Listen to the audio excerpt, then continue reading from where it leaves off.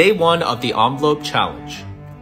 Today I pulled 21, so I put $21 into that envelope, and that's one envelope down and 99 to go.